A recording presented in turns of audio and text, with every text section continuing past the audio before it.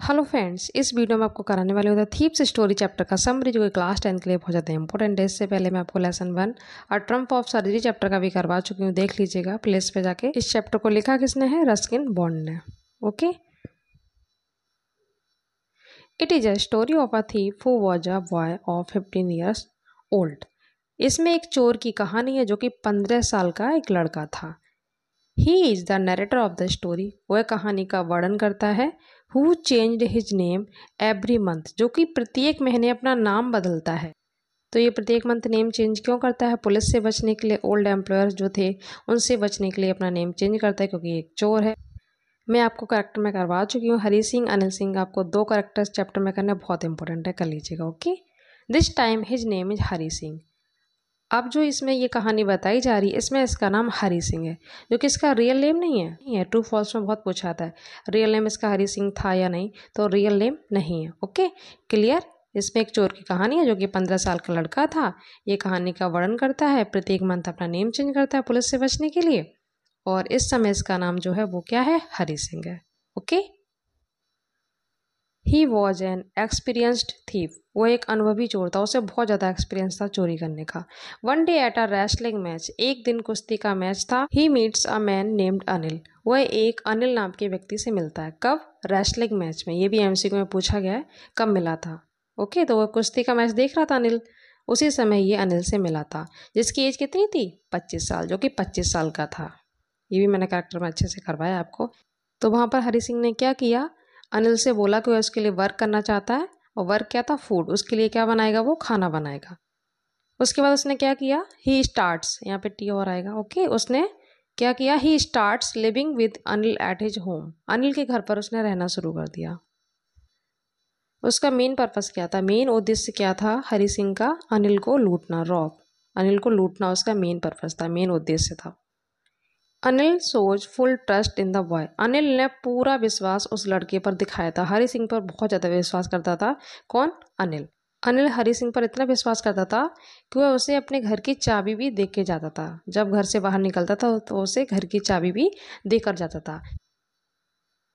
Anil knows that the boy makes money in his daily purchase Anil को पता था कि जो बॉय था डेली का जो सामान खरीद के लाता है, उसमें से पैसे बचाता ये बात अनिल को पता थी। बट अनिल ने कभी भी इस बात का बुरा नहीं माना। डज नॉट माइंड इट उस बात का बुरा नहीं मानता था and he teaches the boy how to write और वह उस लड़के को लिखना भी सिखाता था। अनिल का काम क्या था? वो मैगजीन लिखा करता था, उनको सेल किया करता था। उसी से उसकी अर्निंग होती थी। तो एक दिन वो बुक सेल करके आया था पब्लिशर को। तो अनिल क्या करता है?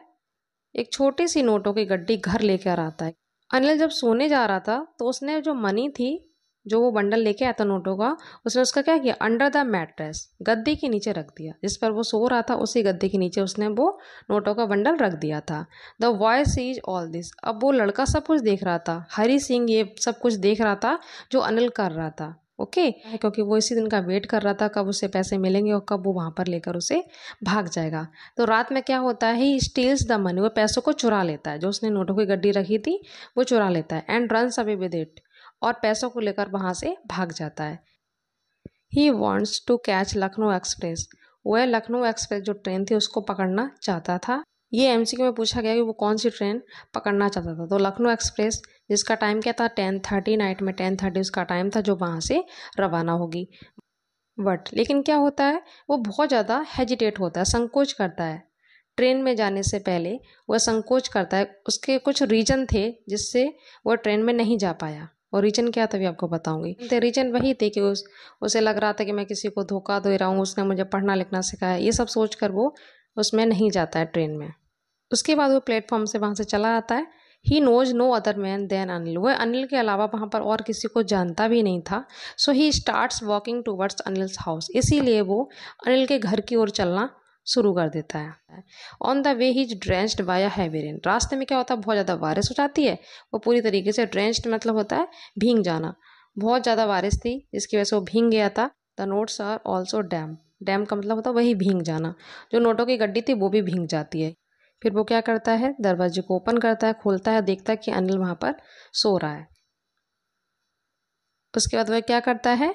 He puts the wet notes under the mattress वह जो नोटों की गीली गड्डी थी, जो भींग गई थी, उसको वापस उसी गद्दे के नीचे रख देता जहाँ से उसने चोरी किए थे। अगली सुबह क्या होता है? जो बॉय था वो लेट जागता है। अनिल पहले से ही ऑलरेडी चाय बना चुका था। Anil gave him fifty rupees note and says he will be pay to him regularly Anil क्या करता है कि उसको फिफ्टी रुपये का नोट देता है और कहता है कि उसे रेगुलरली पेड किया करेगा। अब तक उसे वो डेली रुपये नहीं देता था बट उसने बोला कि आज से वह उसे पचास रुपये डेली देगा। कौन? अनिल देगा हरी सिंह को। अनिल को पता था जो वाय ने ये काम किया था बेईमानी का पूरा, उसके बारे में उसे पूरी नॉलेज थी बट उसने अपनी फीलिंग को छिपा के रखा था, सामने नहीं आने दी थी। उसके सामने ज़ाहिर नहीं किया था कि ये बात उसको अनिल को पता है। और लास्ट में वह उस लड़के हरी सिंह से क्या कहता है today we will start writing sentence आज हम वाक्य को लिखना स्टार्ट करेंगे या शुरू करेंगे। ये वो अनिल सिंह हरी सिंह से कहता है। थस इस प्रकार the kind action of Anil changes the heart of the boy तो अनिल के अच्छे बिहेव की वजह से उस लड़के का दिल पूरी तरीके से बदल जाता है लास्ट में। इस प्रकार वो चोरी करना छोड़ देता है, क्योंकि अनिल ने उसके साथ बहुत अच्छा बिहेव किया था, उसको लिखना पढ़ना सिखाया था। तो वो नहीं चाहता था कि अनिल का विश्वास टूटे, इसीलिए वो चोरी करके भाग चुका था बट फिर भी वापस आ जाता है। कौन? हरी सिंह। ओके इस तरीके से कर लीजिएगा। Thank you so much